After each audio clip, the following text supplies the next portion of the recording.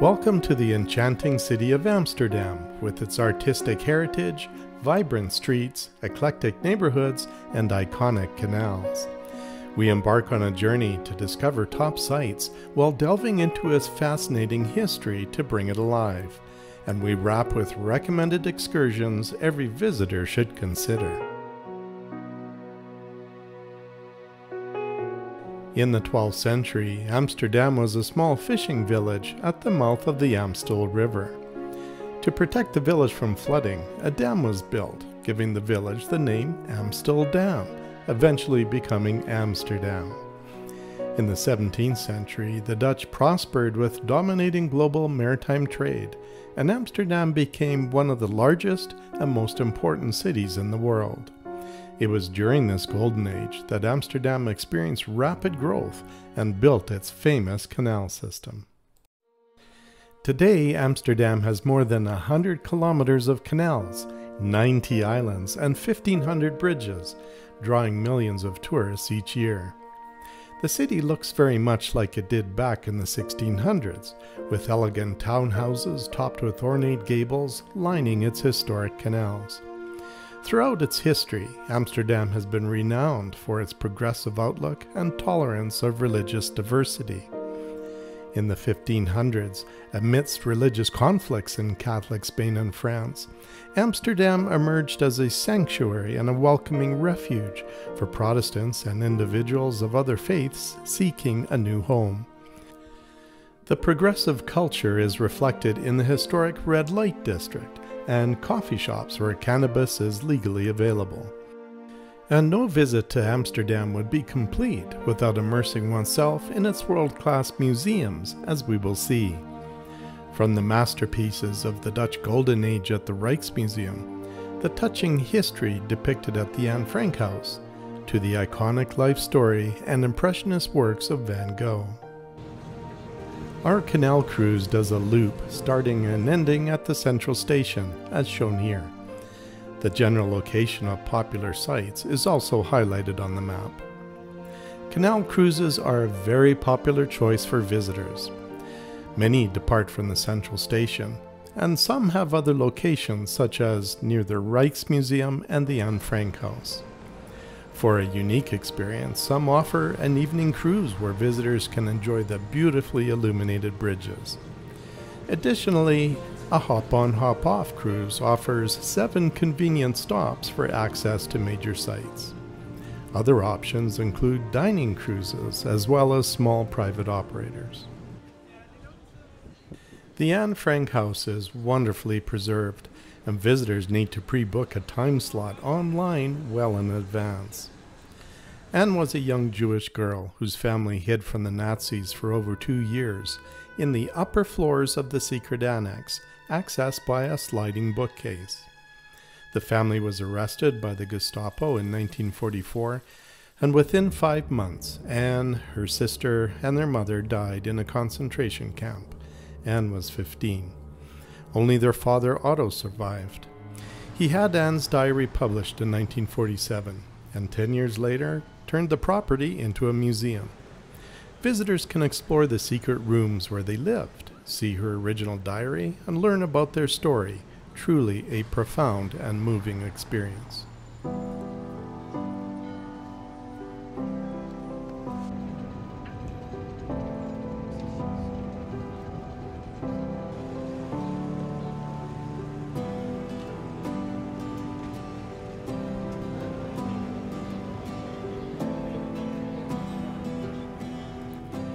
Here we see a fabulous ship docked at the National Maritime Museum. Visitors can board this replica of the Amsterdam, a cargo ship with the Dutch East India Company originally commissioned in 1748. The museum is in a 17th century naval warehouse, showcasing their maritime heritage with model ships, navigational instruments, weapons, paintings, and interactive exhibits. Notice this interesting building, designed like a bow of a ship raised out of the water. Critics call it the Titanic, but it is the Nemo Science Museum, great for families with various interactive exhibits and simple hands-on experiments. Notice the rooftop. It provides fabulous views and has a cafe and a wading pool for kids. Up there is Europe's highest swing called Over the Edge on a 360 degree observation deck 100 meters above ground. The A'DAM Lookout also has a virtual reality roller coaster ride, a bar and a restaurant, and a dance floor. As we arrive back in Amsterdam Central Station, we get a view of thousands of bikes. Apparently, after I took this video, they opened a new bike parking facility that is underwater, with space for 11,000 bicycles. Commuters and visitors could also rent one. With approximately 500,000 cyclists navigating its streets, Amsterdam strongly encourages eco friendly biking over driving, as parking is costly and maneuvering a car through the city could be very challenging. However, pedestrians who are not used to the bike traffic need to be very careful. The bike lanes run along the sidewalk and in some areas leave little room for pedestrians.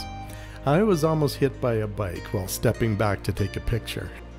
So, visitors must always be vigilant of the bustling bike traffic so that everyone stays safe. Two museums close together are must see attractions in Amsterdam. In the fabulous Rijksmuseum, we find the 17th century Dutch Golden Age on display with the best collection of Dutch masters, including Rembrandt. I love the Rijksmuseum. Notice the size of Rembrandt's paintings with its life size figures. Just imagine this is what it looked like with their amazing outfits, hats, and swords. The Dutch Golden Age between 1588 and 1672 was a period of unprecedented prosperity in the Netherlands. The Amsterdam Stock Exchange is considered the world's first official stock exchange. Eventually, the Dutch dominated global trade, fueling the rise of the Dutch Republic as a major European power. In 1624, they established New Amsterdam on the southern tip of Manhattan Island. When the British conquered it, 40 years later, they renamed it New York.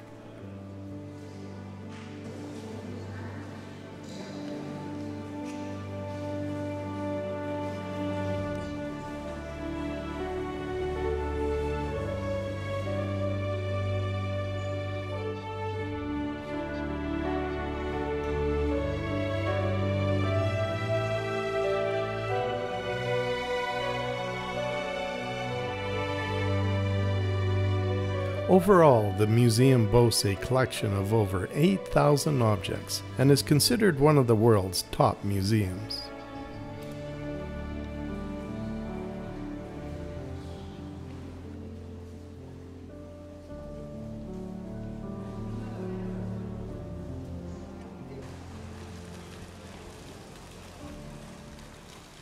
The Van Gogh Museum stands as a tribute to one of the most influential artists in history. With over 200 paintings, it's the world's largest collection of Van Gogh masterpieces.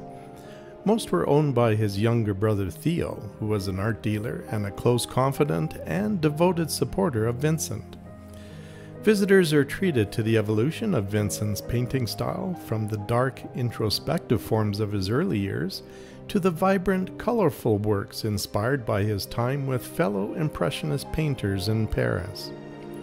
Vincent had mental health struggles, leading to him cutting off his ear and tragic death at the age of 37 in 1890.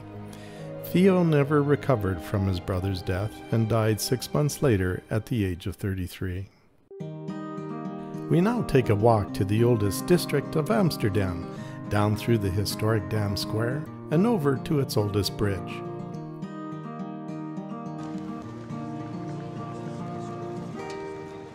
Passing through this shopping area, we come to Amsterdam's oldest church, surrounded by the world's oldest profession. This is the start of the red light district, and right behind us are girls and windows, not to be photographed. The De Wallen district, commonly known as the red light district, is one of Amsterdam's most famous and controversial areas. This neighborhood is renowned for its vibrant nightlife and is a large tourist attraction for the city. It can also have rowdy, intoxicated crowds with a lot of noise and littering.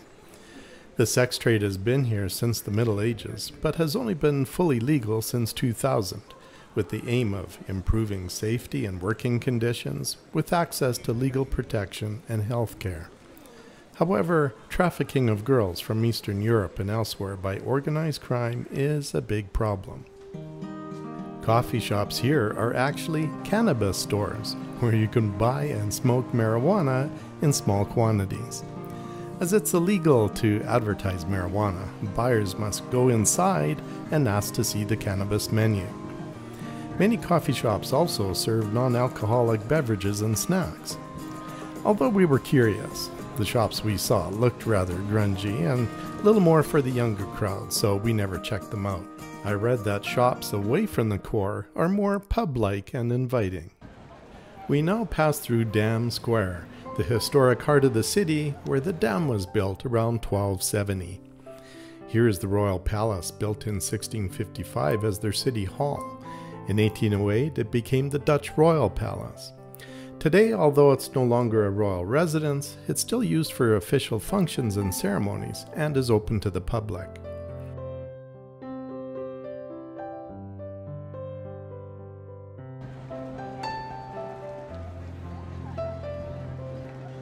Here is the first Madame Tussauds opened in mainland Europe in 1970.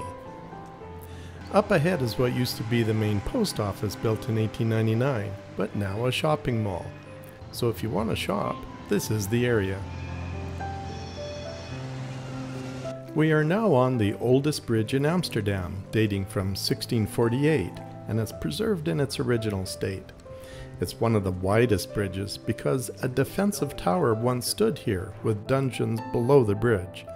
The tower was demolished in 1829, but apparently the dungeons are still there. This is a great place to relax and observe the old leaning buildings. I'm sure that brick one is leaning too.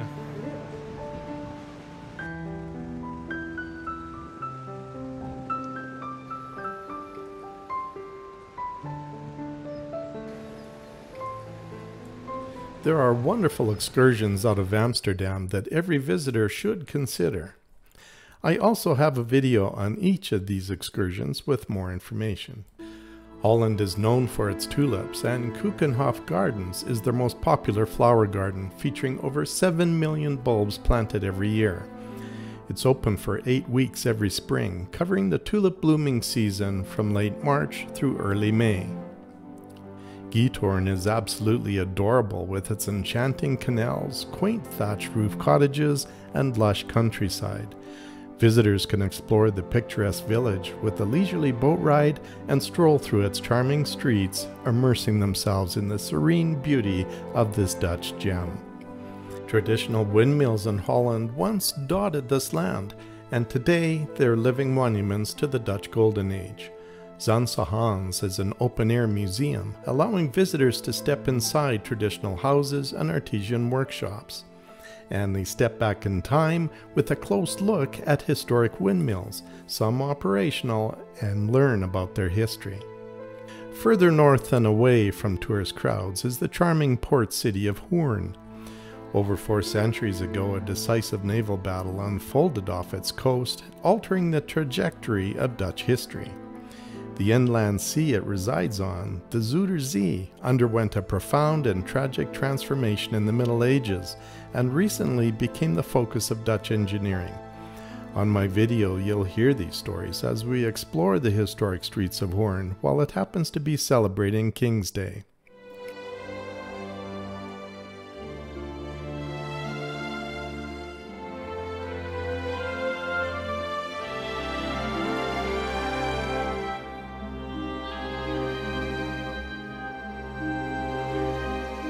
If you enjoy my videos, I encourage you to subscribe to my YouTube channel and click the bell to be notified of new releases. It's free, and sharing with your friends is much appreciated.